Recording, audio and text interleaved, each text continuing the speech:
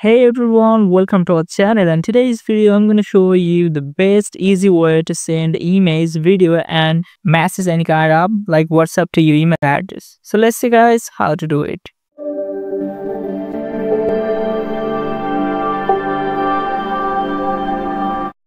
Well guys, the very first thing to do going to be send your all the data files from your WhatsApp to your email address. Well, the first thing you need to do is to open up your WhatsApp first.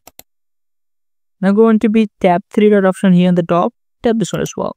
Now simply it's going to be tap setting. Alright guys, now to scroll down the option called chat. Simply click this one as well. Again here at the very bottom, like the option chat history, tap this one as well. The very first option called export chat, you need to just going to be click this one as well. When I'm going to be choose your any kind of person you want to send your WhatsApp message from your any kind of mail. Like I'm going to simply choose this one, the first one. Now the first option, you got an option here included media size and the export. Without media and including media. I'm going to choose the including media.